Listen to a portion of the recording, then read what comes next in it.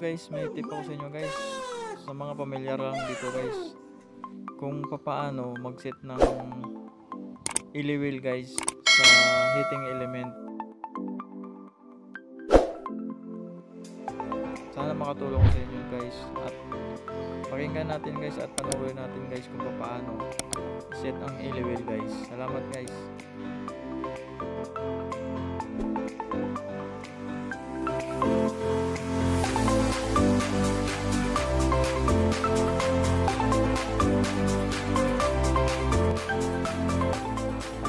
Natin guys kung paano i-set ang iliwil guys. Guys, tara guys. Um, panoorin natin guys kung paano guys. Press mo lang to. Press.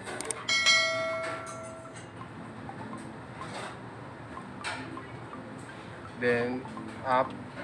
NHE. Set. 200. Tapos, set. So pag Set. Ng iliwil yan guys. Kaya lang yan. 200. Up. At ayaw niya. Nakalak. Hmm, Okay na yan guys. Okay na yan. nakalak ko.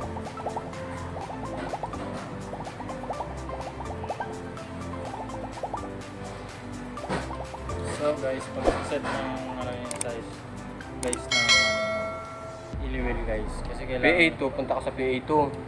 Set mo ng 15. Tapos mabilis. Sa draw.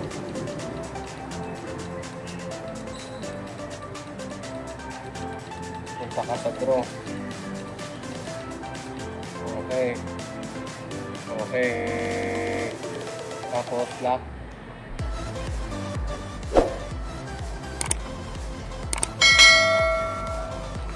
calibration lock in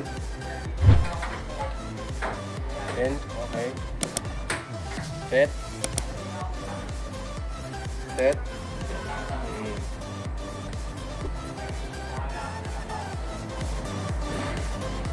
Two hundred.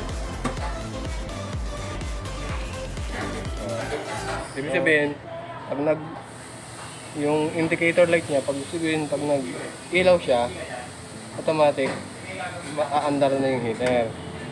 Yung sensor niya, na uh, mag ano siya, ma, kailangan yung ma-reach niya yung 200. Kaya siya mamamatay. Saka guys, yung, yung iliwil na yan guys, dalawang purpose niyan. Mayroong Fahrenheit, mayroong Celsius guys. So naka-Fahrenheit tayo kasi ang sinusukat niyan guys, yung init.